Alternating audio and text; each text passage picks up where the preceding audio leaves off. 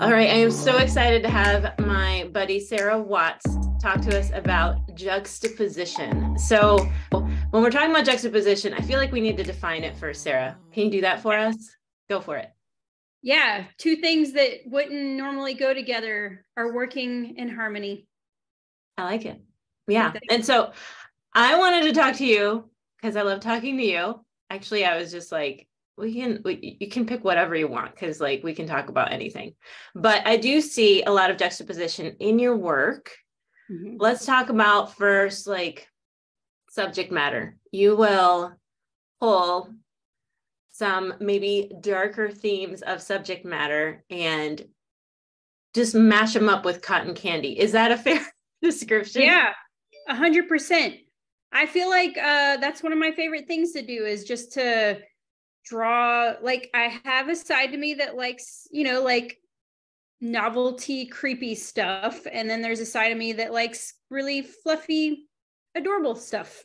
So um yeah, and it's actually like a dueling battle in my head all the time just like trying to figure out how to let those two things live together in the same space and but that's how we have to do life, right? Like you kind of have to hold space for both hardships and happy ships. Happy ships. well, I feel like you, yeah, you just like gravitate towards that tension, probably because that's part of your personality. Like maybe does it feel truer to have both like on the same page? Yeah, yeah. For, for me, it is. Um, I think that a lot of it is uh, how I was raised. I, I had a very um, you could say adventurous and difficult upbringing. Um, and i think that part of what got us all through everything because um, my uh, my dad had a mental or has a mental disorder that was very um, you know up and down. It's that's called schizoaffective disorder. But basically we had to hold space for those kind of uh, ups and downs and then also have that feeling of hope and excitement to kind of get us through. So that dueling uh, energy has never left me. I've always had like a, a side of me that kind of likes to be by myself and kind of not talk to anybody. And, you know, and then there's a side of me that's like very outgoing and loves to talk to everybody. So I think visually that comes out with like, my fascination with Halloween and like I like metal music and and then there's the side of me that likes you know, Taylor Swift and fluffy animals. so well, how do yeah. you bring those together? That sounds so hard for someone who doesn't usually do that, right? Like, hey, let's do a skull and some beautiful flowers and then Taylor Swift. I don't know, like how how do you do that? Yeah, um I don't know. I think that not letting yourself feel like you have to be one or the other of anything is probably the best freedom. Like i i think uh when i started my path for illustration i was like just kind of you know trying to find my style and figuring out how like or my voice. And really what came out was just that i like have m- multiple interests. I like things that are romantic. I like things that are um you know like creepy or dark, like Halloween kind of stuff, and then the fluffy things. And so putting them all together mm-hmm. is the fun tension that challenges me as an artist. Uh, I think that if I didn't like, I do like to do each of them individually. Obviously, that's there's a place and time for that, but there's something about pulling all of those um, aspects together that feels very challenging and fun, and it feels more true to me. It feels comfortable to kind of deal with that chaos of stuff. yeah. And uh, I, you know what? I in in your work, I don't just see it in what you do, like the subject matter that you choose, but I also see it in the contrast. It's like you have a metaphorical contrast and a visual contrast, right? So yeah. I think that that's one of your tools that you really bring in a lot of light and dark, and it's like a graphic, bold way of approaching juxtaposition. Yeah. Yeah. Oh, I love you, Amarilys.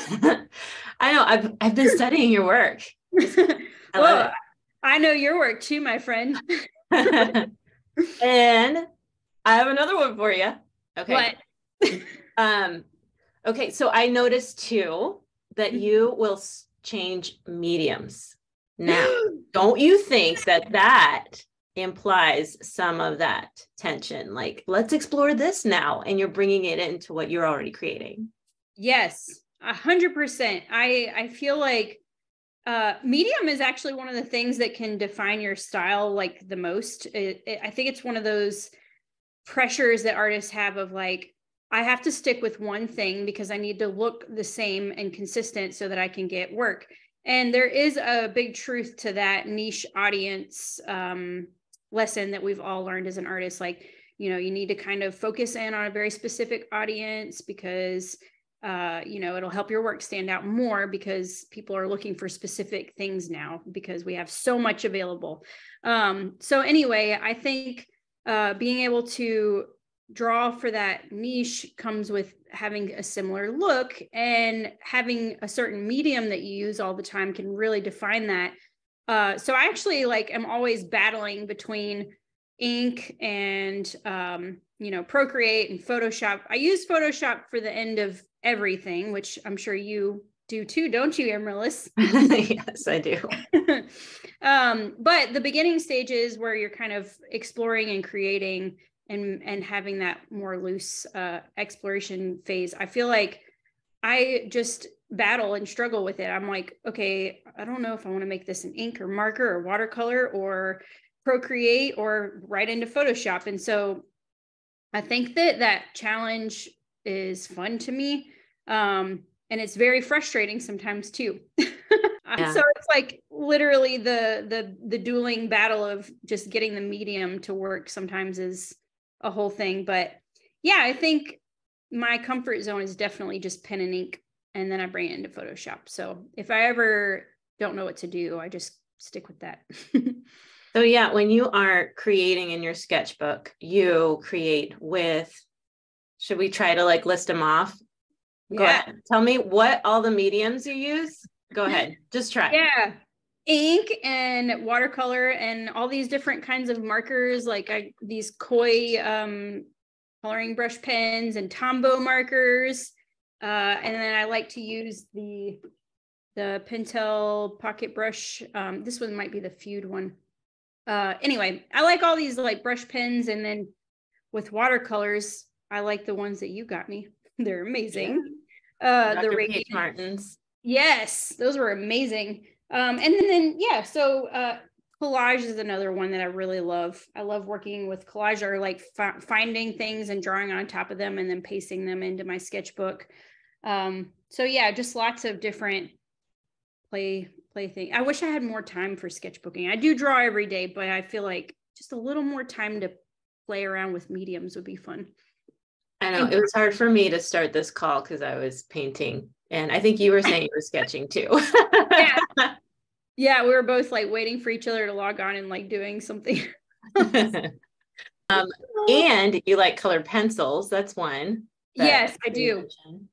Um, Yeah. Erasable ones. You've talked about that. Ooh, The Col-Erase from uh, Prismacolor is amazing because you can draw and then erase it like a regular pencil. But if if your watercolor happens to uh, like if you can't pull up all of the the the color out of the color pencil, then it's okay because it's like the color of your watercolor that you're using. So it's like a good way to hide the sketch. Yeah. And so we just went through a litany of traditional art supplies, but then the digital arm too, Mhm. Photoshop and iPad, right? Yeah, yeah. Uh mostly I actually have put Procreate down for like 3 months because I feel like I feel like I'm seeing a little bit of a Procreate burnout online, like I feel like a little bit like I've got to find different brushes or something. I feel like it's almost like uh, a lot of of the work can feel similar because of the same brushes we're all using and stuff. So I think I need to switch it up a little bit because I'm getting too comfortable in Procreate.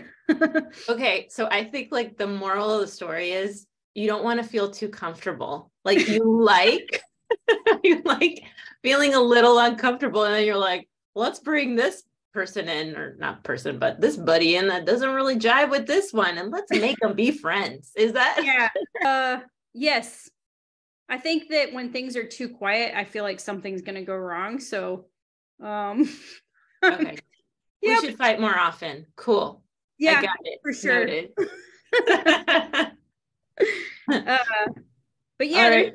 about that that chaos that's kind of it just it's that little bit of a drive that keeps me going is like ah, things feel a little bit whoa.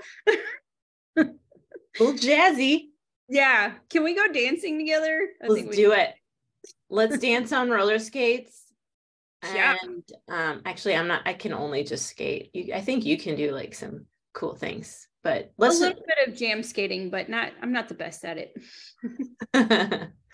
you're uh well you're kind of a chameleon but at the same time you have a very distinct style. So that's the last thing that i'm going to ask you about because we've like talked about how you can do all these things and yet you've also mentioned sticking to a thing. So mm-hmm. is there like an order to that? Or like how do you make things cohesive if you're just exploring and curious all the time yeah, yeah. I think that there is the artist side of you that wants to just make things and have fun. And then there's the business art side that kind of just has to make the stuff that people want to buy that has kind of turned into your, you know, public uh, style or voice or whatever.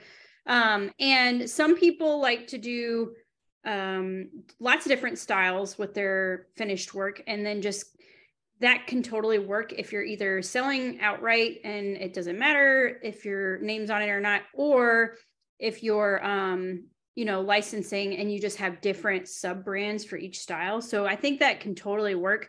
Um, for me it's been that i love working in pen and ink so much and bringing it into photoshop so much that that's just been that's my default look for professional work. So uh, I explore and play a lot in my sketchbook, and sometimes I'll bring some of the things that I discover into my finished work. But for the most part, the finished work is like, you know, Photoshop and ink. So I just kind of generally stick in that that uh, zone of medium.